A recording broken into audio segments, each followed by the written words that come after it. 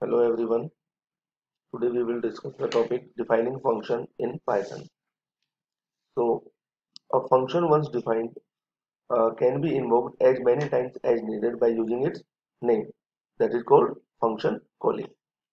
Okay, we have already uh, discussed in, the, uh, in uh, this thing in previous video. So uh, in a syntax language, uh, there is an angle bracket then square bracket and there are some punctuators. So in a syntax of uh, python uh, function topic the angle bracket uh, has to be provided by the programmer. Means a function name has to be provided by the programmer. Then in square bracket it is optional or we can skip this. And in the syntax of function there are some punctuators uh, that is outside the angle bracket and square bracket. Okay? That have to be written as specified. तो ये function का syntax है। इस पर based एक programme भी हमने last video में कवर किया था। ठीक है? कुछ और भी एग्जांपल्स हैं फ़ंक्शन के सिंटैक्स को uh, समझने के लिए। लाइक डेफ एक कीवर्ड हुआ sum function name and then in bracket और parenthesis box we are writing two variables x and y. then s is equal to x plus y uh, it will return s okay and in the second example uh, def greet and then print good morning so in these two uh, examples uh, what are uh, these like def keyword है some function name है ऐसे ही यहाँ पर def keyword है greet function name है parenthesis box में दोनों में एक डिफरेंस है। यहाँ पर हमने parenthesis box में कोई भी वेरिएबल यूज़ नहीं किया और यहाँ पर मैंने दो वेरिएबल यूज़ किए एक्स कोमा वाई ठीक है तो एक्स कोमा वाई क्या है यहाँ पर? पैरामीटर्स ठीक है, और ग्रीड फ़ंक्शन में मैंने पैरामीटर यूज़ नहीं किया है। क्लियर इसके बाद फ़ंक्शन एक वैल्यू रिटर्न कर रहा है सम फ़ंक्शन में। ठीक है बट ग्रीड फ़ंक्शन में कोई वैल्यू रिटर्न नहीं होगी। सम फ़ंक्शन में एक एक्सप्रेशन मैंने यूज़ किया, जो फ़ंक्शन बॉडी का पार्ट है और ग्रीड फ़ंक्शन में मैंने एक प्रिंट स्टेटमेंट यूज़ किया। ठीक है? ये भी एक फ़ंक्शन बॉडी का पार्ट है। पर दोनों में डिफरेंस क्या है? कि फ़ंक्शन का नेम हम कुछ भी ले सकते हैं। फ़ंक्शन के अंदर हम कुछ कैलकुलेशंस भी परफॉर्म कर सकते हैं। फ़ंक्शन के थ्रू हम वैल्यू रिटर्न भी करा सकते हैं। और अगर हमारी ऐसी कोई रिक्वायरमेंट नहीं है देन आप डायरेक्टली फ़ंक्शन को डिक्लेयर करके फ़ंक्शन की डेफिनेशन सेट कर सकते हो। ठीक है? तो बेसिकली फ़ंक्शन में हम फ़ंक्शन हेडर यूज़ करते हैं। Function header def function name then colon parameters Parameters are the variables that are listed within the parenthesis box. Okay, like in this example, x and y are the parameters. Okay, then function body.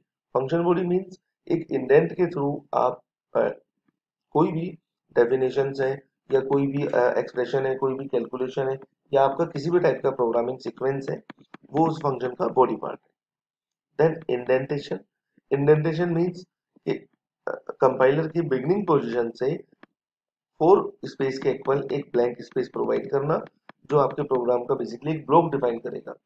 ठीक है? तो indentation के through आप अपने programme में function या किसी भी मॉड्यूल का एक ब्लॉक और एक सेगमेंट सेट कर सकते हो। ठीक है? कुछ और भी एग्जांपल्स हैं यहाँ पर कि फ़ंक्शन को आप किस टाइप से, किस किस तरीके से यूज़ कर सकते हो। जैसे फ़र्स्ट सैंपल कोड इसमें एक फ़ंक्शन हमने लिया def sum of three multiples okay और यहाँ पर हमने जो पैरामीटर यूज़ किया, कितना किया? एक। दैट इज़ एन और उस पैरामीटर को हमने हमारे एक्सप्रेशन में सॉल्व कर लिया। ठीक है? और जो भी रिजल्टेंट वेरिएबल था एस वो एस वेरिएबल की वैल्यू हमने फ़ंक्शन के थ्रू रिटर्न करा दी। क्लियर जैसे अब सैंपल कोड टू इस एग्ज़ाम्पल में मैंने सेम टाइप से फ़ंक्शन लिया, एक सिंगल पैरामीटर लिया एक्सप्रेशन सॉल्व किया और यहाँ पर वैल्यू मैंने रिटर्न नहीं कराई। यहाँ पर क्या किया? उस एस वेरिएबल को प्रिंट स्टेटमेंट के थ्रू मैंने प्रिंट कराया। क्लियर और भी एग्जांपल्स हैं, जैसे सैंपल कोड थ्री यहाँ पर रिटर्न फ़ंक्शन के थ्रू वैल्यू रिटर्न करते टाइम मैंने एक्सप्रेशन यूज़ किया। लाइक like मेरा पैरामीटर था ए और उस ए पैरामीटर को मैंने एक्सप्रेशन में a multiply by a means a square के फॉर्म में रिटर्न करा लिया। Then in the sample code four two different parameters थे और उनको मैंने रिटर्न कराया कैलकुलेट करने के बाद। इन सैंपल कोड फाइव यहाँ पर भी उसी टाइप से मैंने एग्ज़ाम्पल लिया एक पैरामीटर उस पैरामीटर को मैंने एक्सप्रेशन में यूज़ किया। इन सैंपल कोड सिक्स यहाँ पर भी मैं पैरामीटर कैलकुलेट कर रहा हूँ तो दो एल और बी वेरिएबल्स यूज़ किए और एक एक्सप्रेशन को सॉल्व किया in the form of return then next sample code seven code नाम से एक फ़ंक्शन डिफाइन किया देन मल्टीपल स्टेटमेंट्स मैंने प्रिंट किए print code of the day print act without expectation और print anything we can write in this ठीक है? तो ये कुछ मेथड्स हैं कि फ़ंक्शन को मैं मेरे प्रोग्राम में आ, किस तरह से डिफाइन कर सकता हूँ। ठीक है? तो ये these are the ways by which we can define or we can set the definition of our function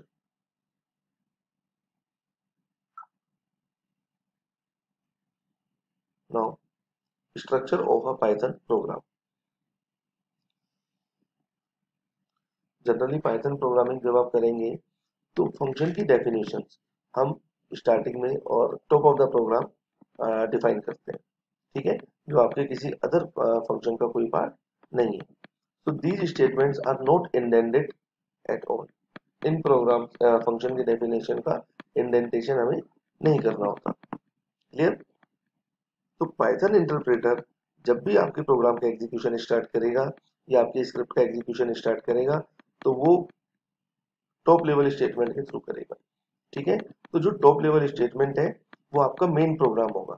Internally Python gives a special name to the top level statement that is main तो basically जब आप function define करते हैं function का declaration definition और उसके बाद आप कॉलिंग करते हैं तो फ़ंक्शन का जो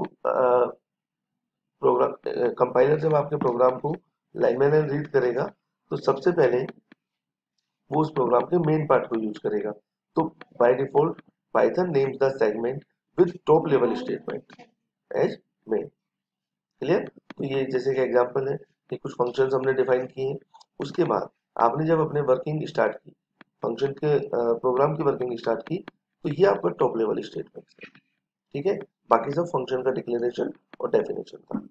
तो यहाँ पर कंपाइलर आपके प्रोग्राम को रीड करना स्टार्ट करेगा और जहाँ कॉलिंग पार्ट कंपाइलर को मिलेगा देन डायरेक्टली कंपाइलर उस पर्टिकुलर नेम को आपके फ़ंक्शन डेफिनेशन में सर्च करेगा और अकॉर्डिंगली स्टेटमेंट्स एग्जीक्यूट करेगा।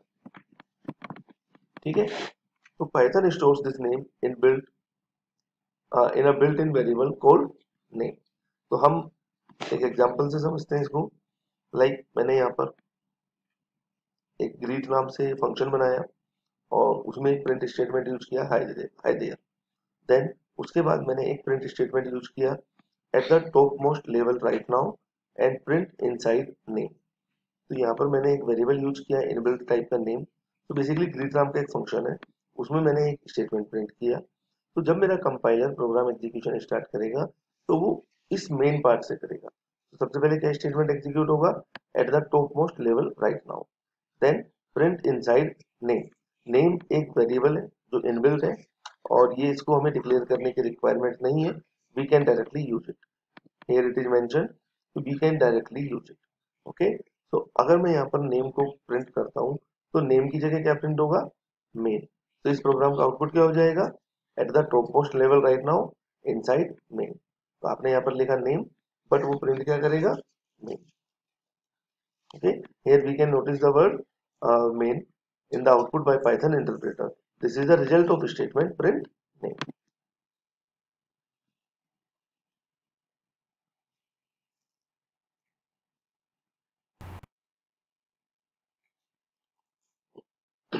now flow of execution in a function code.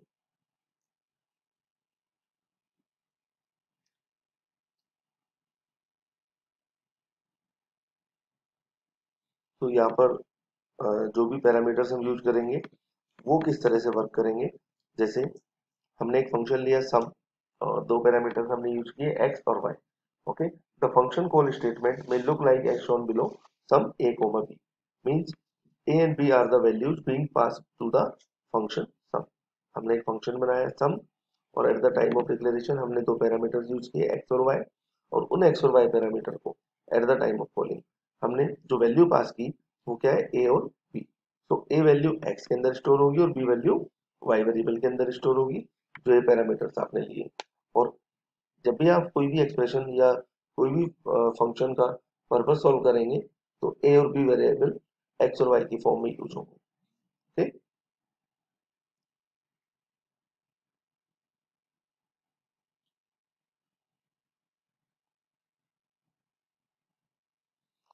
So the execution frame of a function program contains some internal information, then name of the function, then value passed to the function. After that, the variables created within function and information about the next instruction to be executed. So these are the uh, contain elements of function with a frame of execution. ठीक है? तो यहाँ पर एक cyclic diagram है कि क्या steps perform होंगे। तो जैसे function call will send the control flow to the function definition तो जैसे ही आपका फ़ंक्शन कॉल हुआ लाइक ये आपका फ़ंक्शन है फ़ंक्शन की डेफिनेशन है, यहाँ पर आपने कॉलिंग की है, ठीक है? ये पूरा डेफिनेशन पार्ट और ये कॉलिंग तो जब आपने कॉलिंग की, सबसे पहले कंपाइलर कहाँ जंप करेगा? फ़ंक्शन की डेफिनेशन पर. फ़ंक्शन को फाइंड करेगा एंड देन डेफिनेशन को रन करेगा। आफ्टर दैट आप रिटर्न करते हैं, या प्रिंट करते हैं अकॉर्डिंगली वो स्टेटमेंट इस रिटर्न के थ्रू यहाँ आ गए, और यहाँ से वो वैल्यू प्रिंट होगी। ठीक है? इसके बाद एक एग्जांपल है write a program to add two numbers through a function तो कैलसी सम के नाम से एक फ़ंक्शन है, जिसमें दो पैरामीटर्स हमने लिए एक्स और वाई एक्स और वाई का हमने सम किया है और वैल्यू रिटर्न कर रही है in the form of s then number one और नंबर टू दो वेरिएबल्स हमने यूज़र के थ्रू इनपुट किए एंड देन उनको सम किया। ठीक है? तो इस प्रोग्राम को एक बार कंपाइलर पे रन करेंगे देन इसका आउटपुट चेक करते हैं कि कैसे फ़ंक्शन वर्क कर रहा है। So this is the program calc function में डिफाइन किया टू आर पैरामीटर्स ठीक है? जब मैं इस प्रोग्राम को रन करूँगा तो आउटपुट किस तरह से अपीयर होगा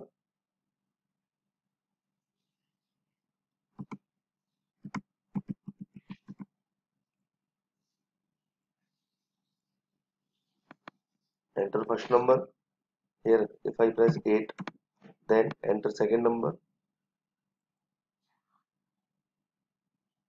please look in the bottom side uh, enter second number if i press 7 then when I press enter, then it will give the result 15 8 and 7 15 so, कैसे वर्क हुआ यहाँ पर?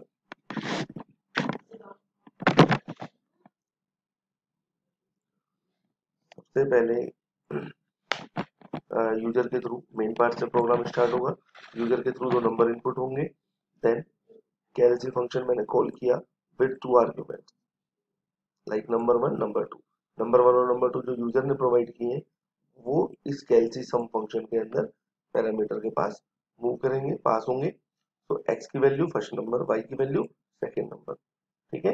दोनों का सम होगा और उसके बाद वैल्यू रिज़ल्ट रिटर्न होगी एस ठीक है? और ये एस वैल्यू कहाँ स्टोर हो जाएगी? सम वेरिएबल में। और at the time of printing मैं सम वेरिएबल प्रिंट कर रहा हूँ, ठीक है? क्लियर?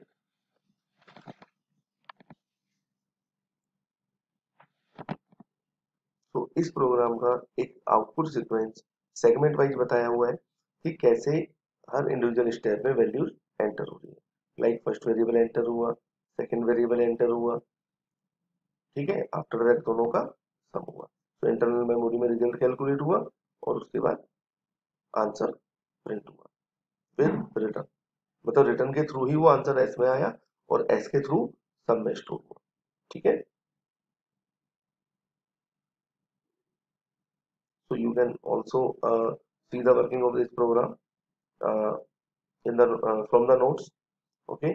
तो इस प्रोग्राम में जो स्टेप्स परफॉर्म हुए सबसे पहले मेन फ़ंक्शन का स्टेटमेंट कॉल हुआ देन सेकंड टाइम भी main function then third time भी main function after that at the time of calling calculate sum function call हुआ then again second statement of calculate sum function उसके बाद जो result store वापस आया वो भी मेन के थ्रू